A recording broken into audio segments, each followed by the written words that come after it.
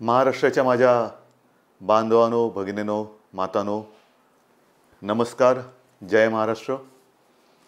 आज एक मे म्हणजे आपल्या संयुक्त महाराष्ट्राचा विजय दिन महाराष्ट्राचा स्थापना दिन आणि त्याचबरोबरीने कामगार दिनसुद्धा आहे. महाराष्ट्र दिनाच्या आणि कामगार दिनाच्या आपल्याला सर्वांना शुभेच्छा. संयुक्त महाराष्ट्र म्हटल्यानंतर साहजिकच आहे. मला जुन्या आठवणी आठवतात. ज्या माझ्या आजोबांनी सांगितलेल्या आहेत. ज्या मला माझ्या वडिलांनी म्हणजे शिवसेना प्रमुखांनी सांगितलेल्या आहेत. तो काळ होता तो संघर्षाचाच होता लढ्याचाच होता. मुंबई जी काय आपल्याला मिळाली ती अशीच नाही मिळाली. बलिदान करून ही मुंबई आपण मिळवलेली आहे. आज सकाळीच मी हुतात्मा स्मारकाला वंदन करून मंत्रालयात ध्वजारोहण करून आलो. आजपर्यंत हुतात्मा चौकात किती वेळा गेलो असेन? अनेकदा गेलेलो. आहे पण आज जे काही मी तिथे गेलो होतो एक क्षणभर का होईना पण माझ्या अंगावरती रोमांच उभे होते. कारण मी आज जो गेलो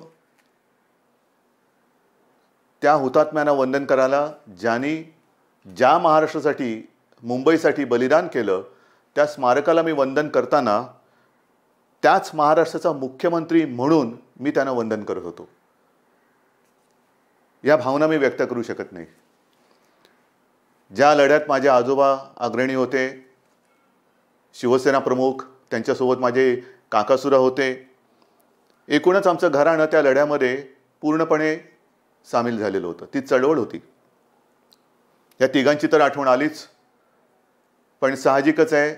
त्यावेळेला ज्या घरामधनं हे सगळं काही घडत होतं अनेकदा बैठका होत होत्या लढ्याच्या दिशा ठरवल्या जात होत्या अनेक जण त्याच्यामध्ये होते. मग करीमाला मला घरी आलेले सेनापती बापटी आठवले शाही रामरशेख आठवले किती नावं घेऊ? पण त्या सगळ्या काळामध्ये घर व्यवस्थित सांभाळणारी माझी मा देखील मला आठवली. आणि त्या सगळ्यांना वंदन करून मी आज आपल्याशी बोलतो आहे. योगायोग आहे महाराष्ट्र दिन आणि कामगार दिन. म्हणजे ज्या गिरणी कामगारांनी पराक्रमाची शर्थ केली कामगारांनी पराक्रमाची शर्थ करून ही मुंबई मिळवून दिली ते दोन्ही दिवस एकत्र आलेले आहेत. त्या अनेक कामगारांना ज्यानी ज्यानी या संघर्षामध्ये कष्ट घेतले बलिदान केलं रक्त सांडलं त्या ज्ञात आणि अज्ञात सर्वांनाच मानाचा मुजरा करून मी आज आपल्याशी संवाद साधतोय. एकोणीसशे साठ म्हणजे आज जवळपास जवळपास नाही आज साठ वर्ष झाली.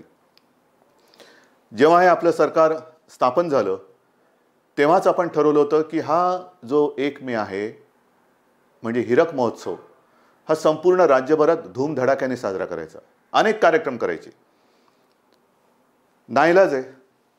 आज सुद्धा मी मानवंदना किंवा अभिवादन करायला गेलो तो तोंडावरती मास्क लावावं लागला. पण हा जो काही काळ आहे हा काळ नक्कीच जाणार आहे. मला आम्ही एकोणीसशे साठच्या गोष्टी नाही करत पण मला आज आठवतोय तो आणखीन एक दिवस म्हणजे दोन हजार दहा. कदाचित आपल्यापैकी अनेक जणं त्यावेळेला आले असतील. किंबहुना बहुतेक सगळ्यांनी तो जो काय सोहळा होता तो सोहळा दूरचित्रवाणीवरती पाहिला असेल. दोन हजार दहा म्हणजे संयुक्त महाराष्ट्राला पन्नास वर्ष झाली होती. आणि ती पन्नास वर्ष आपण ज्या पद्धतीने साजरी केली होती ते सगळे प्रसंग त्या सगळ्या घटना जे जे तिथे उपस्थित होते त्यांना ते आठवल्याशिवाय राहणार नाही. मी जिथे राहतो कलानगर त्याच्या बाजूलाच बांद्रा कुर्ला कॉम्प्लेक्स आहे. एक मेला लाखो लोक अक्षरशः लाखो लोक तिथे जमली होती. स्वतः शिवसेना प्रमुख होते बाबासाहेब पुरंदरे होते आणि विशेष म्हणजे लता दिदी होत्या. लता दिदी तुम्हाला सुद्धा मी नमस्कार करतो आहे तुमचे सुद्धा आशीर्वाद सोबत पाहिजेत जे आहेतच. पण मुद्दामून का सांगतोय की जेव्हा हा सोहळा साजरा करण्याचं ठरवलं तेव्हा सहज एक मनात कल्पना आली. एकोणीसशे साठ साली शिवतीर्थावरती शिवाजी पार्कवरती लता दिदींनी हे गाणं गायलं होतं बहु असो तो सुंदर. आणि पन्नासाव्या वर्षी मी दिदींना विनंती केली की दिदी तुम्ही पाहिजे आहात. तुम्हीच ते गाणं गायचं. आणि अक्षरशः एक सेकंदसुद्धा खूप होईल. पटकन त्या म्हणाल्या हो मी आले. आणि मग दिदी आल्या होत्या हृदयनाथजी होते उषाताई होत्या अनिल मोहिले होते तेव्हा. आणि दिदीनी लाखो लोकांच्या सोबत ते गाणं पुन्हा गायलं होतं. अजूनही ते गाणं टवटवीत आहे ताजं आहे. आणि आज त्याच ग्राउंडमध्ये साठ वर्ष होताना आपण ह्या कोरोनाच्या विरुद्ध जी लढाई चालू आहे तिथे पवेलियनचं एक प्राथमिक आरोग्य केंद्र उभं करतोय. ही बी के सीची गोष्ट आहे. दुसरा एक अतिशय महत्त्वाचा कार्यक्रम आपण घेतला होता शिवसेनेच्या माध्यमातून घेतला होता. तो म्हणजे गोरेगावला जिथे एक्झिबिशन ग्राउंड आहे तिथे एक विश्वविक्रम केला होता. रक्तदानाचा विश्वविक्रम. त्याच्यामागे एक कल्पना अशी होती की अनेक हुतात्म्यांनी रक्त सांडून जी मुंबई आपल्याला मिळवून दिली त्या मुंबईच्या रक्षणासाठी आम्ही रक्तदान करून शपथबद्ध होत आहोत. आणि मला अभिमान आहे की अवघ्या बारा तासात आपण तो चमत्कार घडवला होता. पंचवीस हजारपेक्षा अधिक रक्तदात्यांनी रक्तदान करून एक आगळा वेगळा विश्वविक्रम केला तो आज देखील महाराष्ट्राच्या नावावरती कायम आहे.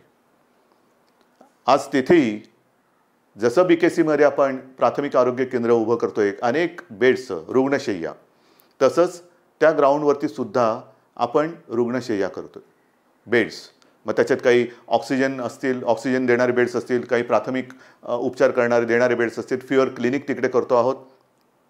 पण सगळ्यात महत्त्वाचं म्हणजे महाराष्ट्राने जर मनात आणलं तर महाराष्ट्र घडवू शकतो महाराष्ट्र करू शकतो. महाराष्ट्राने जो रक्तदानाचा विश्वविक्रम केलेला आहे हे महाराष्ट्रच करू जाणे. आणि तोच आज महाराष्ट्र पुन्हा एकदा या करोनाच्या विरुद्ध लढाईला उभा आहे नवे लढतो आहे. कित्येक कित्येक गोष्टी आपण केल्या. संयुक्त महाराष्ट्राचं दालन शिवाजी पार्कच्या बाजूला केलं. या अशा अनेक गोष्टी केल्या.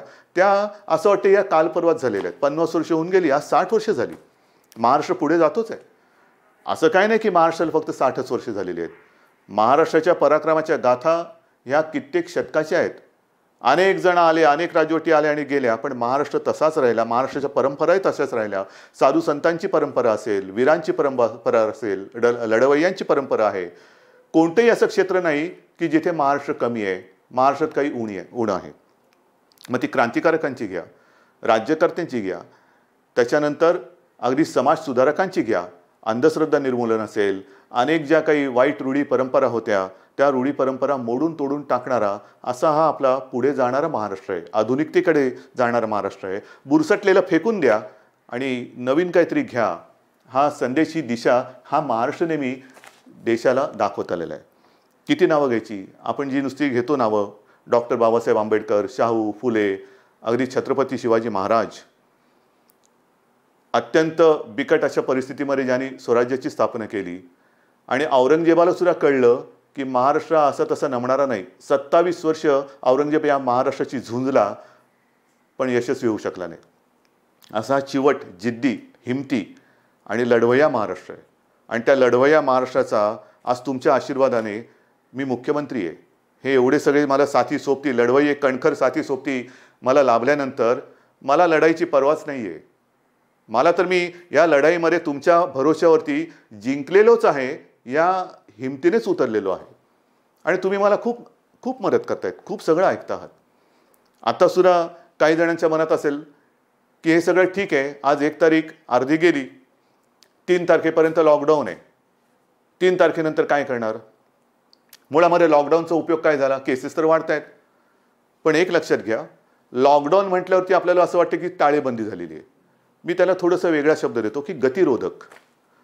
सिंगापूरच्या पंतप्रधानांनी त्याला दुसरा शब्द वापरलेला आहे सर्किट ब्रेकर सर्किट ब्रेकर म्हणजे ही जी शृंखला आहे ती तोडणे. जी विषाणूची शृंखला आहे ती तोडणे. आणि ती तोडण्यासाठी नक्कीच ह्या लॉकडाऊनचा म्हणा किंवा सर्किट ब्रेकरचा म्हणा किंवा गतिरोधकाचा म्हणा आपल्याला उपयोग झालेला आहे. नाहीतर आपण कल्पना करू शकत नाही एवढ्या झपाट्याने किंवा पटीमध्ये या विषाणूचा गुणाकार झाला असता. नक्की म्हणजे अगदी नक्कीच आपण हा गुणाकार कंट्रोलमध्ये ठेवलेला आहे. तरी देखील आकडे वाढत आहेत का वाढत आहेत आकडे? हे जे आकडे वाढत आहेत हे जिथे जिथे आपल्याला पहिल्यांदी या रुग्णांची नोंद झाली त्यांच्याशी अति निकटच्या संपर्कात आलेले लोक मग थोड्या अधिक लांबून संपर्कात आलेले अशी जी आपण काही विभाग केलेले ज्याला कंटेनमेंट झोन म्हणतो आपण जे सील केलेत आणि काही लोक आपण क्वारंटाईनमध्ये ठेवलेले आहेत. काही जणांना घरात ठेवले काही जणांना आपण आपण ज्या सुविधा तयार केल्या आहेत त्या विलगीकरण कक्षात ठेवल्या आहेत. ह्या ज्या केसेस वाढत आहेत ह्या त्याच्यामध्ये जास्त वाढत आहेत त्याच्यात जास्त वाढत आहेत अगदी हिंगोलीमध्ये सुद्धा वीस पंचवीस लोक वाढले. मी मुद्दामून चौकशी केली. सगळे रिपोर्ट्स माझ्याकडे येत असतात. चौकशी केल्यानंतर असं कळलं की जे आपले पोलीस दलातील जवान आहेत जे एका ठिकाणी बंदोबस्ताला गेले होते आणि बंदोबस्त करून त्यांची ड्युटी संपल्यानंतर पुन्हा आपल्या ठिकाणी परत आले दुर्दैवाने त्यातलेही काही लोक आहेत. त्यातलेही काही मग आपले जवान आहेत. पण तेही आपल्या क्वारंटाईनमध्ये आहेत. म्हणजे असं नाही की ते फिरतायत इकडे तिकडे फिरतायत. नाही आपल्या आपल्या व्यवस्थित आपल्या विलगीकरण कक्षामध्ये आहेत. त्यांच्यावरती काही जणांवरती आवश्यकतेनुसार उपचारसुद्धा सुरू केलेले आहेत.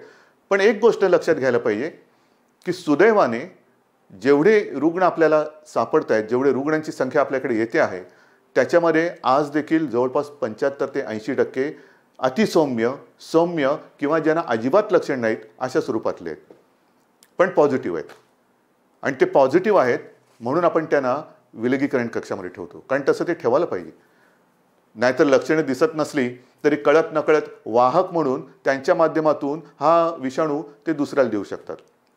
आपण खूप काळजी घेतो मुंबई महापालिकासुद्धा आणि इतरत्र ज्या महापालिका आहेत तिथेसुद्धा एक वेगळी पद्धत आपण एक काही दिवसापासून अंमलात आणलेली आहे. घरोघरी जाऊन म्हणजे विशेषतः झोपडपट्ट्या झोपड्यांमध्ये जाऊन आपण एक साधं उपकरण येतं पल्स ऑक्सिमीटर. बोटाला लावलं की आपल्या शरीरात ऑक्सिजन किती आहे त्याचा किती पुरवठा होतो आहे त्याची टक्केवारी काय हे सगळं कळतं. तर त्यांची तपासणी करतो आहे दोन लाखाच्या आसपास किंवा त्याच्याहून अधिक आत्तापर्यंत आपण तपासणी केलेली आहे. यातनं काय मिळतं? तर महत्त्वाचा जो एक मुद्दा आहे ऑक्सिजन तो कळतो. आणि त्याचबरोबरीने त्यांना इतर जर काही विकार असतील कोणाला मधुमेह असेल कोणाला रक्तदाब असेल कोणाला आणखीन काही गोष्टी असतील आणि ऑक्सिजन कमी असेल तर कदाचित अशी लोकं ही या विषाणूला पटकन त्याचा प्रादुर्भाव करू करू होत- होऊ शकतो आणि गंभीर आजार होऊ शकतो. त्यांना आपण वेळेमध्ये बाजूला करतोय. जवळपास मी जे म्हटलं की दोन लाखाच्या आसपास आपण तपासणी केल्यानंतर साधारणतः दोनशे बहात्तर लोक ही आपल्याला अशी सापडलेत की ज्यांच्यात ऑक्सिजन लेवलसुद्धा कमी आहे आणि त्यांना इतर काही व्याधी किंवा विकार आहेत. मग काय? मग त्यांना आपण बाजूला करतो त्यांना नुसता ऑक्सिजन नाही देत तर मुंबई महापालिका त्यांना इतर विकारावरती सुद्धा आजारावरती सुद्धा उपचार करते. अशा अनेक गोष्टी चालू आहेत.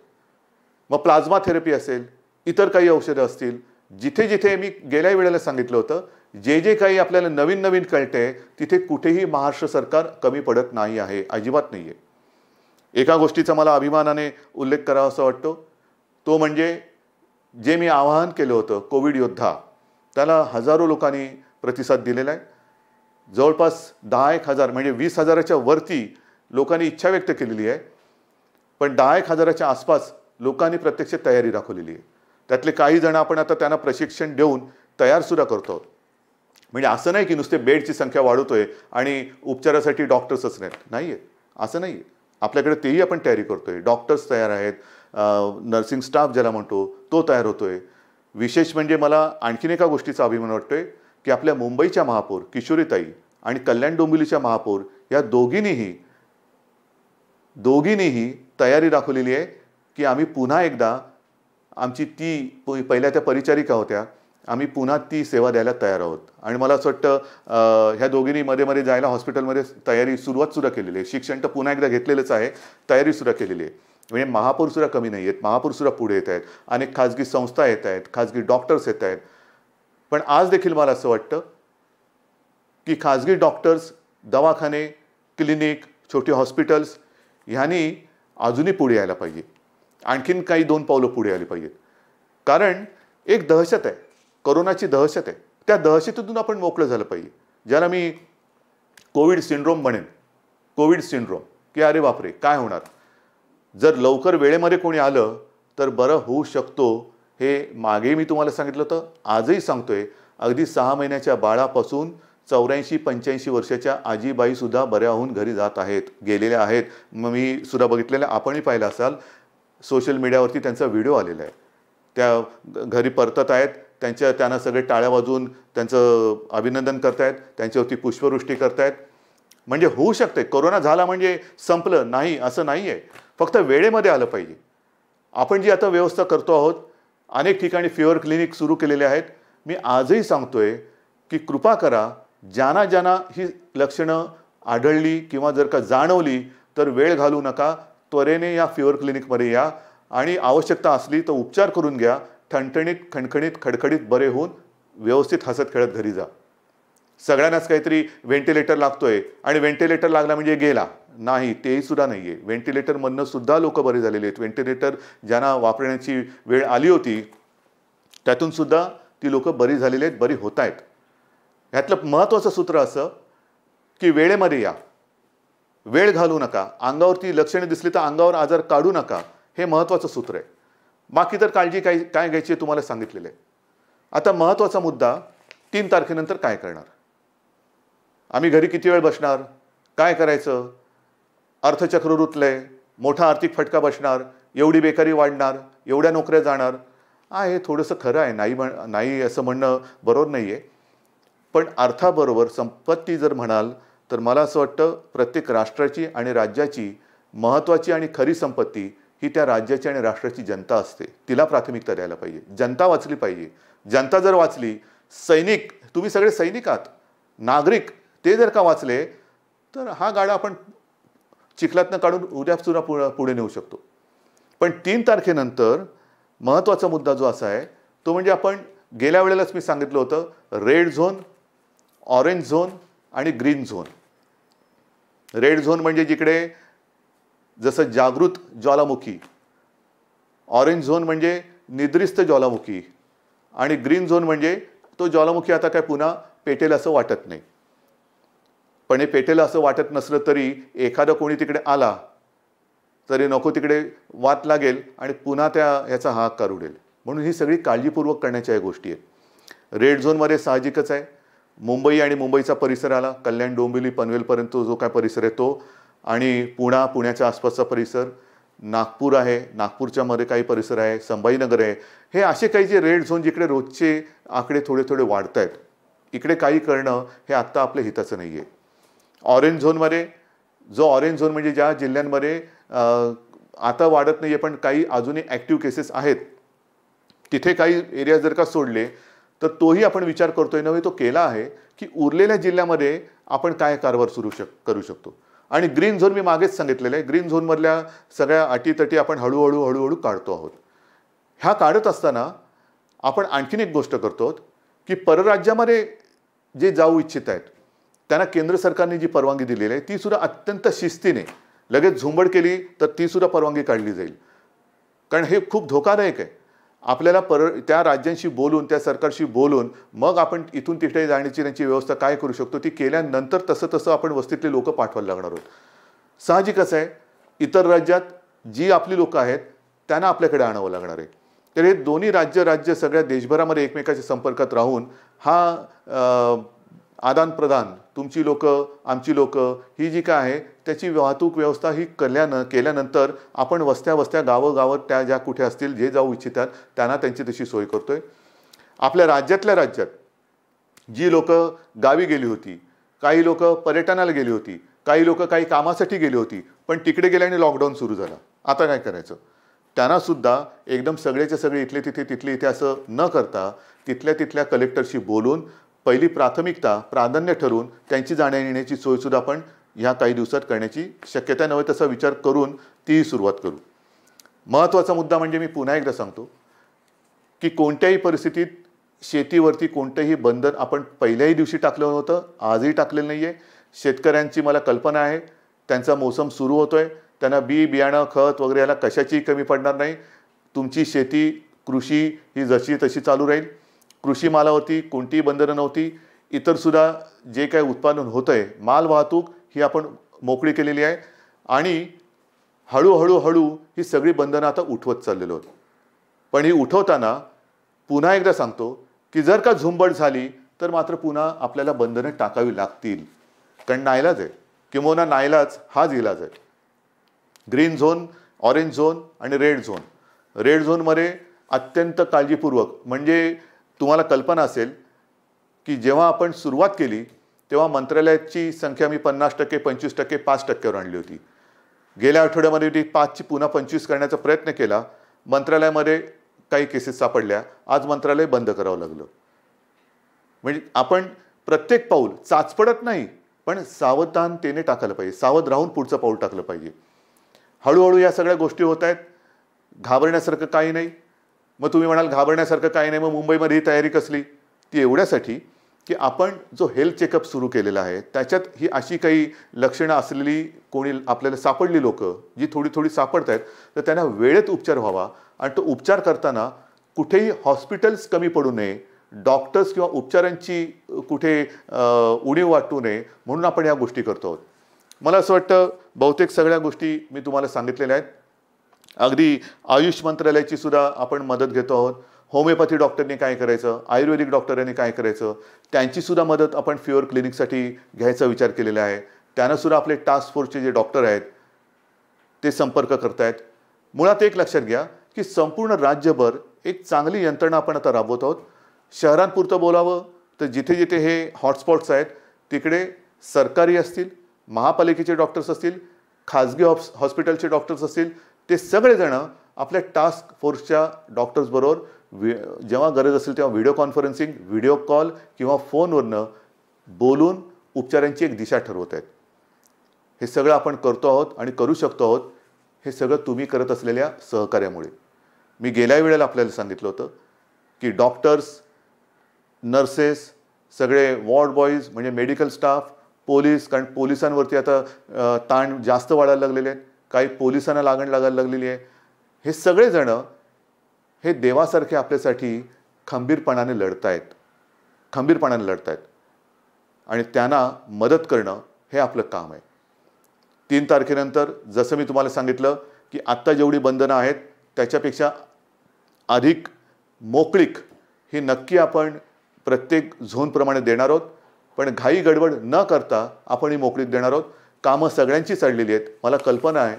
पण ही कामं लवकर सुरू करताना कुठेही आत्तापर्यंत जे काय जी काय आपण तपश्चर्या केली आता आजपर्यंत आपण एवढं सगळी बंधनं पाळली आणि पटकन सगळी बंधनं उघडल्यानंतर म्हणजे आर्थिक फटका तर पडलाच आणि नको तो आणखीन जीवाणू जो आहे विषाणू जो आहे तो जीवावरती उठला. तसं होऊ न देता आपल्याला पुन्हा आपल्या जीवनमानाची गाडी जी आहे आयुष्याची गाडी आहे राहणीमान जे आहे ते पूर्वपदावरती आणायचे. अत्यंत धीराने खंबीरपणाने आणि सावधपणाने आपण ही पावलं टाकतो मी परत एकदा महाराष्ट्र दिनाच्या आणि कामगार दिनाच्या आपल्याला शुभेच्छा देतो.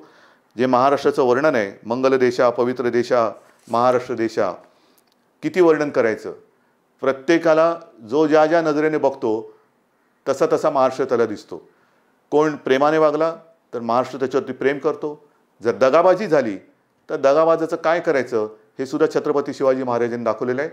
फुलांच्या देशा पवित्र देशा हा महाराष्ट्र हा सर्व सर्व सर्व अंगाने संपन्न आहे सुधारणावादी आहे प्रगत आहे आणि पुन्हा सांगतो देशालाच नव्हे तर जगाला दिशा दाखवणार आहे. अशा या महाराष्ट्राचे सगळे आपण पुत्र आहोत सगळ्या आपण कन्या आहात सगळ्यांच्या वतीने मी महाराष्ट्राचा मुख्यमंत्री म्हणून पुन्हा एकदा निर्धार करतो आहे की हे युद्ध आम्ही जिंकणारच आणि त्या जिंकण्यासाठी तुमची साथ सोबत ही अशीच असू द्या. जय हिंद जय महाराष्ट्र.